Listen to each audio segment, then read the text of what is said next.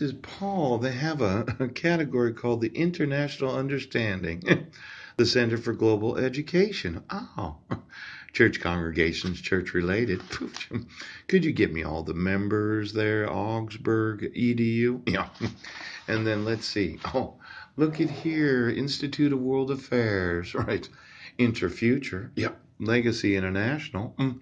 Society for Intercultural Education, Training, and Research. Yeah. Now, um, Iranian. Yeah, I don't want to know about them. hmm Islamic. Yeah, I want all of them. Now, Israeli. Oh, give me all of them too. Mhm.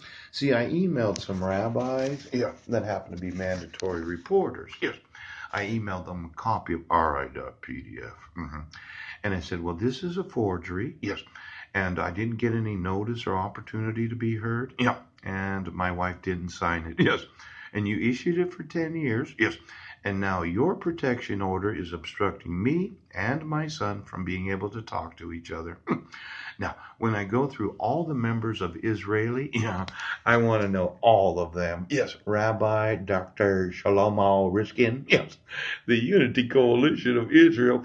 And then they have Jewish Individuals Association of Jewish Studies, Social Sector, the B'nai B'rith International Center for Jewish Identity, and the Brandeis Brandon Brandon Institute. now, I emailed approximately 2,000 mandatory reporters in the state of Washington. Yes. And their obligation is to require law enforcement to enforce the rights of children. Yes. But Zachary's now an adult. Mhm. They didn't do that. Yes.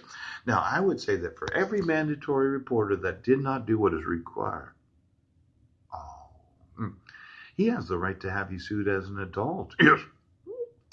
Those 600 uh, civil rights coordinators, yeah, you refuse to enforce his right as a minor child while in school. Yes.